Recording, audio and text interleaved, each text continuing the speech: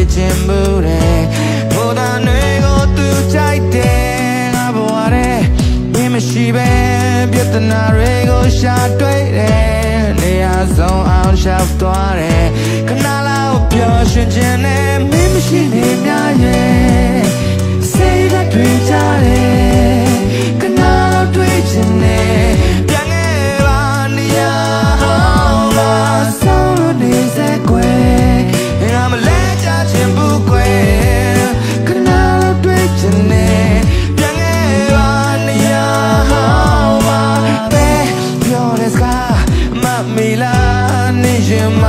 ရှိသေးလားပြောရမှမနေနိုင်တဲ့ခါ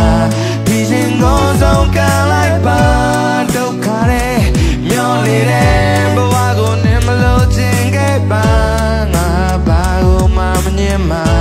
ငါတို့မငိုချင်မှနဲ့မင်းမရှိလေများရဲ့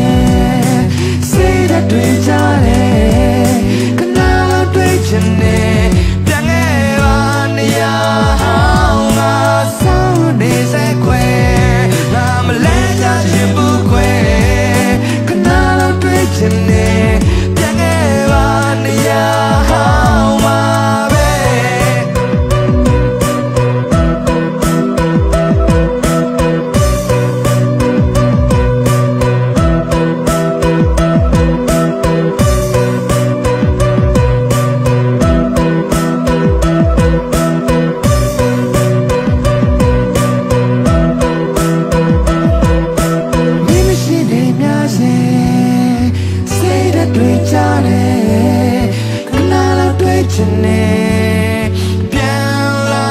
ခဲ့တော့ဆောင်းလာနေစေကွယ်ငါမလဲကြချင်ဘူးကွယ်